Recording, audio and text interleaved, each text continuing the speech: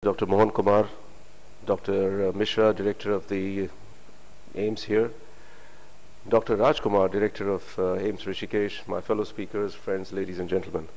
I'm most grateful to Professor Bajaj for giving me this opportunity to come here.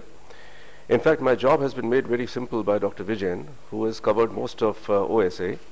And the only objection I have to him is that he stole away my Taj Mahal, which belongs to Agra.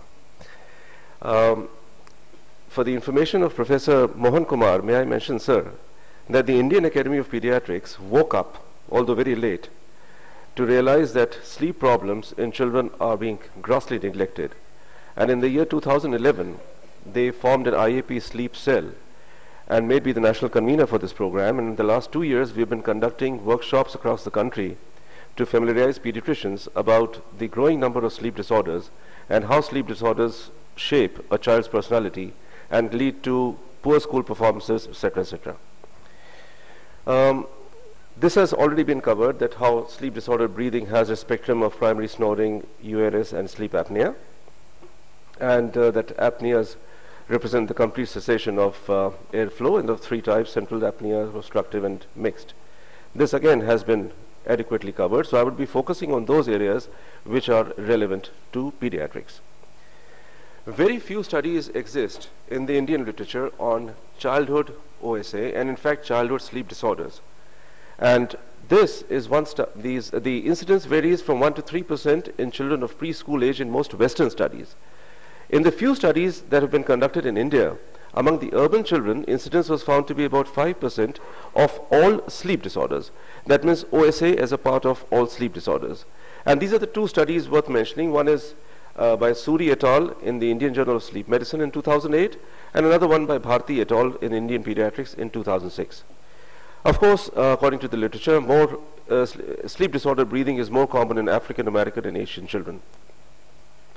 A very nice study was conducted by Dr. Paramesh in Bangalore, and this was a part of the thesis submitted by one of his candidates for the DNB examination in 2010 in which they looked at about 950 children aged 2 to 17 years and found that primary snoring was present in 8 and obstructive sleep apneas in about 1%.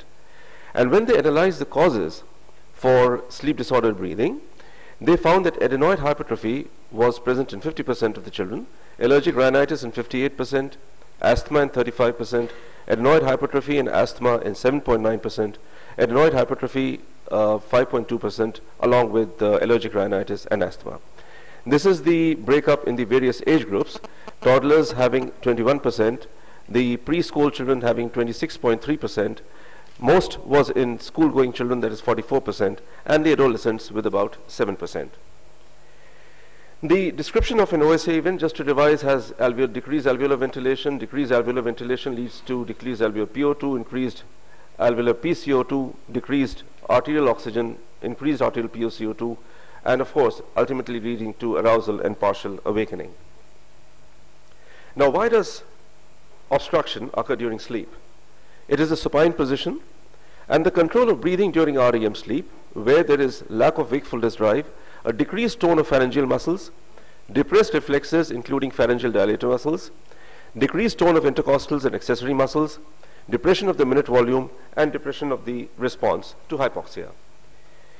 Um, the anatomical factors have been mentioned, but a word about the pediatric age group is that we have lots of congenital anomalies which can lead to anterior nasal stenosis, choanal stenosis, uh, congenital choanal stenosis is a well-known entity, DNS, seasonal peritonitis, and nasal polyps, uh, which can lead to obstruction at this level. Nasopharyngeal and oropharyngeal uh, causes include the most important adenotonsillar hypertrophy, macroglossia, found very much in hypothyroidism, which is an entity being increasingly recognized in Indian children, cleft palate and flap repairs, craniopharyngeal abnormalities like macrognathia and Pierre-Robin syndrome, midface uh, hypoplasia and Down syndrome, and again mandibular hyperplasia again in Pierre-Robin syndrome. Functional factors in children that predispose to OSA of course, is the REM sleep-related pharyngeal hypotonia, abnormal neural control, generalized hypotonia in Down syndrome, CNS injury, birth asphyxia, with all these uh, fancy NICUs coming up across the country, we have lots of children surviving with a, who have had HIE, that is hypoxic encephalopathy at the time of birth. And that can again contribute to this. Brainstem dysfunction, Chiari malformation. Drugs, which can again contribute to OSA, is here. Amongst the other causes, obesity is one which is being increasingly recognized now. And a word about it, I shall just talk a little later. Atopy and OSA. In a large number of studies in, in adults with atopy, there is a high prevalence of snoring. A significant association between asthma and snoring, which this effect is independent of the upper respiratory tract symptoms, cigarette smoking and race, has been found in children. Again, I may mention that asthma is on a very heavy increase in the Indian population in children. Atopy is not recognized as an independent risk factor for snoring. These are four risk factors, male sex, African American race, recurrent otitis media, asthma, tobacco smoke, and a past history of prematurity. The classic presentation of children with OSA as underweight children with adenotonsillar hypertrophy is being substantially replaced now by young patients who are either overweight or obese. For every one kilo kilogram per meter square increment in the BMI beyond the mean BMI for age and gender, the risk of OSA increases by 12%. In the obese children, upper airway narrowing results from fatty infiltration of the upper airway structures, promoting pharyngeal collapsibility. Again, obesity reduces the intrathoracic volume and diaphragmatic descent during inspiration, particularly in the supine position, resulting in lower oxygen reserves and increased work of breathing during sleep. Obesity is associated with peripheral and central leptin, which is an adipocyte-derived hormone resistance, which can in turn can lead to relatively ineffective elevation of circulating leptin levels. Thus, a reduced bioavailability of leptin resulting in altered ventilatory responses may also play a role in the interaction between obesity and OSA. Uh, it has again been shown that the central drive, uh, the, the ventilatory central drive is blunted in children with obesity. The OSA manifestations can be classified into the sleep-related ones, daytime ones, and neurobehavioral ones. This is again with special reference to children. Many children who snore do not have OSA. I emphasize this because uh, a misconception exists that whenever they find a child snoring, oh well, he has OSA. It's, that's not the story. But very few children with OSA do not snore. The breathing pauses are there, choking or gasping arousals, which may result in nocturnal awakenings but are more likely to cause fragmented sleep. Restless sleep, diaphoresis, enuresis, because of uh, the disruption of the ADH, and unusual sleeping positions. Well, I mean, children with OSAs have very unusual sleeping positions in that they can keep this necks hyperextended just so that the airway remains patent. Morning headaches due to cerebral vasodilatation because of CO2 retention, excessive daytime sleepiness, which can be evaluated by various scores, and the, uh, the teacher complaining that the child falls off to school, falls off to sleep while at school, a dry mouth, chronic mouth breathing, and a poor appetite. Neurobehavioral tensions, symptoms. Now the most important one is here. Deficits in attention. Most children with SDB do not present with daytime sleepiness and are more likely to be hyperactive or inattentive, often being diagnosed with ADHD. That is attention deficit hyperactive disorder. And this is a fact. In fact, we had this child who was being treated for ADHD with uh, all these drugs, Ritalin, etc., etc., coming from a very affluent family. And in fact, he did not have ADHD, and the only problem he had was obstructive sleep apnea leading to his fragmented sleep, which made him very jumpy and uh, with full symptoms of ADHD. Uh, memory deficits, mood disturbances, subject to sleepiness, and of course, a poor school performance. The signs of OSA have been described, but uh, no abnormality while awake. However, long-standing patients, the children may develop arterial blood gases, they may show a metabolic alkalosis, systemic hypertension, pulmonary hypertension, polycythemia, cor pulmonale, and bradycardia. The criteria for OSA is very much the same, which has been discussed earlier. And with an AHI of less than 5, it is no. And of course, as it moves on, the severity increases. The following triad of symptoms is highly suggestive of OSA in children. Snoring, nocturnal breathing difficulties, and witnessed respiratory pauses. Overnight oximetry. I do agree that it's not a substitute for polysomnography, but yes, it measures the oxygen saturation and provides the pulse rate data. The falls and rises in the oxygen saturation are regarded as the dips, and the ODIs are suggestive of OSA. Polysomnography, which is now regarded as the gold standard, and the variables assessed have already been discussed. Now, a word about polysomnography in children. Imagine a child tied up with all this and being measured in a polysomnography machine. Uh, one year ago, we started with a thesis with one of our residents, and she would come back that, sir, as soon as we tie up the child like this, he jumps up and wakes. So it is easier said than done that yes, polysomnography is the gold standard, but it's not easy to do it in children. And uh, we have been able to do it about 10 children so far in the last one year, but the results uh, are equivocal. This is, of course, has been shown what a normal polysomnograph looks like. This is what it looks like in an OSA. The other radio, the investigations must include uh, a lateral neck radiograph, a very simple thing to evaluate the size of adenoids, which is a very important cause in children. A complete blood count because polycythemia does exist in children because of chronic hypoxia. And of course, these tests.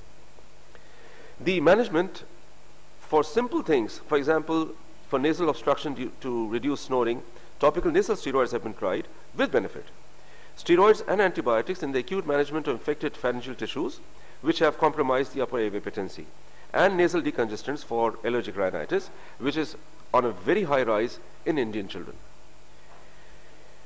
Surgical treatment. in the majority of children with pediatric OSA, adenotonsillectomy is the first line of treatment. A word about this. Uh, many years ago, in fact, a few years ago, adenotonsillectomy was supposed to be avoided in children and was said that try and postpone it as far as possible because the adenoids and the tonsils are a very important part of the reticuloendothelial system and they prevent infections in children. So if you get them out at an early age, you'll be making a child very prone to infection. But that thinking has of course changed with the high incidence of OSA stepping in. And as soon as it is diagnosed that uh, adenoids, adenoids and tonsils are the culprits involved in OSA, they should be got out. Otherwise, uh, their presence is going to lead to more harm than any good. Um, the reported cure rates post adenotonsillectomy include are range from 75 to 100 percent in normal healthy children. What is important to remember is that even in children with comorbidities, if adenoids, adenoids and tonsils are the culprits, they should be removed and those comorbidities should not be considered as a hindering factor for getting the tonsils out. Lifestyle modifications, things like very simple thing, attaching a firm object such as a tennis ball to the back of a sleep garment to prevent the child from lying in a supine position so that he lies in a prone position that keeps the airway open and he is better off. Weight loss, of course. Oral appliances with for CPAP and surgical options, of course, do exist. Um, CPAP is the most common treatment in adults, as has been mentioned, but can be used in children and adolescents where the removal of tonsils and adenoids is not indicated, where there is residual disease following adenotonsillectomy, and there are major risk factors not amenable to treatment with surgery, like obesity and hypertonia. CPAP delivers, of course, humidified warm air through an interface that under pressure effectively splints the upper airways open. And these are the various types of uh, the, these appliances which are available. Um, this is just to show that how CPAP keeps the airway patent here, which had collapsed here. Uh, in very severe cases, tracheostomy has been resorted to.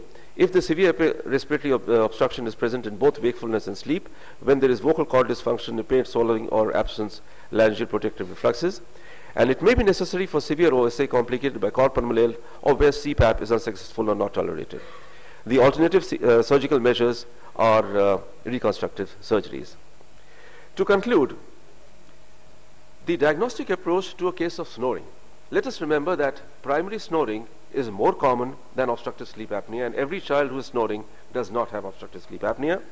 So a child who has snoring and suspected sleep uh, disordered breathing, if he has arousals and witnesses cerebral difficulty, yes, of course this is the line, but if there are no arousals and if there is no witnessed breathing difficulty, he just has primary snoring. If he has arousals and witnessed cerebral dif uh, breathing difficulty, do a pulse oximetry and a PSG. If there are arousals present but no ventilatory abnormalities, it is just upper airways resistance. If the arousals and ventilatory abnormalities are present, it is OSA. So once it is a diagnosed case of SDB, if it's primary snoring, the underlying cause, uh, change the sleeping positions and apply oral devices. For UARS, treat the underlying cause. If it's OSA, yes, treat the underlying cause and uh, adenotonsillectomy, CPAP, tracheostomy, surgery, etc. And of course, the Taj Mahal is in Agra. Ladies and gentlemen, thank you so much.